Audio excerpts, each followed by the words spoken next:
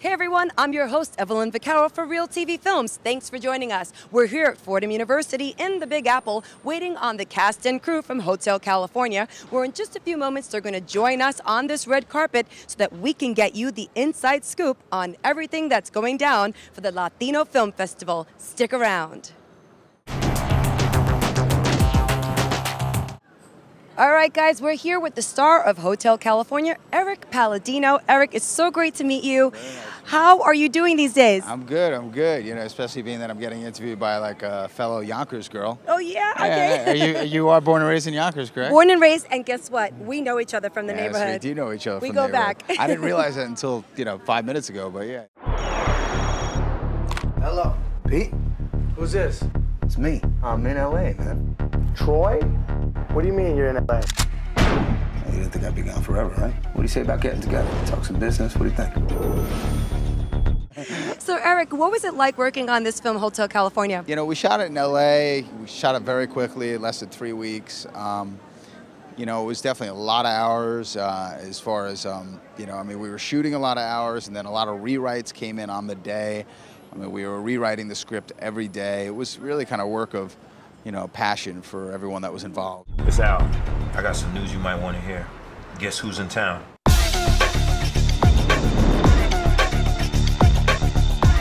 Oh, it's been a while, huh, man? So, how long you in town for? Indefinitely. Troy, what's going on, man? Gino, you're gonna deliver a little message for me. Yeah, you're not gonna do it, man. Uh, you know, it, it comes across on screen. The finished product's pretty good. It's a revenge movie. I play kind of like a young, you know, Scarface kind of character that's coming back to Los Angeles to get revenge on his, you know, fellow uh, drug dealers. Uh, Why'd you do it, Troy? Would you just snap or what? You think Dimitri knows? Knows what? Knows I'm here. Believe me, Dimitri knew you were here. You already know. Find him. Pull this down once before. I'm not gonna let you do it again. You still think I took the money? Is that what you're saying? What are you doing? I'm looking for your boyfriend. you know, it's, it's a revenge flick, but it's not just like a shoot 'em up kind of violent movie, although it is violent. Um, but uh, you know, it, it, there's aspects to it that's you know about the human condition and when someone feels betrayed and uh, how they uh, you know go about taking care of business from that perspective.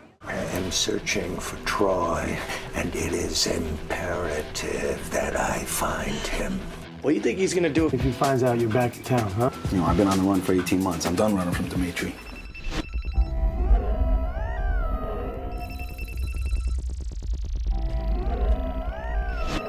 Who's that?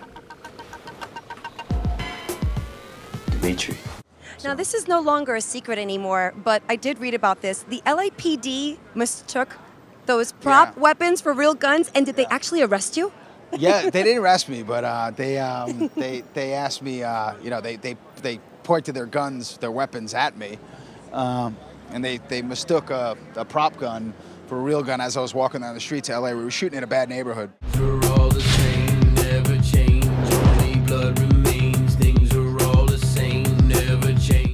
And at the time they they thought I was a, I had a real gun, and five cop cars pulled up with their weapons, you know, pointed at me, and uh, Al, why in such a hurry to get out of here? More importantly, what makes you think I'm gonna let you get out of here? and so uh, you know I almost got arrested. Poor the poor PA standing next to me, he's the one who got uh, he's the one who got handcuffed. like, you know, I got away with it. The actors get away with everything. Well, if that's any indication of what the film was like, you guys did a good job. Yeah, yeah, I think we did. I think it turned out pretty.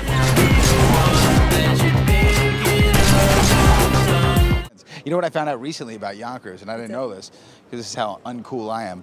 but uh, that Yonkers, like I recently, a guy said, "Oh, I said I was from Yonkers," and a young kid, he's like 20 years old. He goes, "You're from the YO?" And I was like, "What's the YO?" And he's like, "Yonkers, man." And I'm like. Well, it didn't sound that cool when I was growing up, but yeah, I guess I'm from the YO. The Y, The oh. YO. They call it the hip hop kids call it the YO now. I don't even know that. Yeah, see? Yeah, you went to Stepinac High School. went I went to Our Lady of Victory Academy, but we had the same friends growing up. Of course up. you it went was to very Victory. Cool. Well, uh, of course I did. I know. You know what kind of girls went to Victory? good girls. Yes.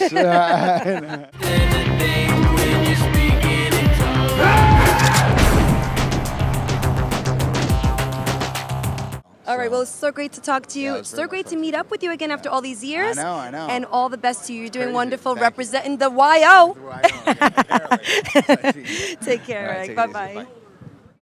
Find me, and that's what this grind consists of. Sweet as Alizé before that Remy get mixed up. I'm never confused. It ain't nothing to a hood like me. Leave the hood and come home and be chill like me. And I'm falling from the sky, and the devil he calling. Don't know why. Never confused. Take a look through my eyes, stare deep in my soul so you can feel inside. Feel inside. And the demons keep calling for me, Lord. I know they're trying to eat me alive. It sorta feels like I'm falling from the sky. It sorta feels like I'm falling. Can't get out. It sorta feels like I'm falling.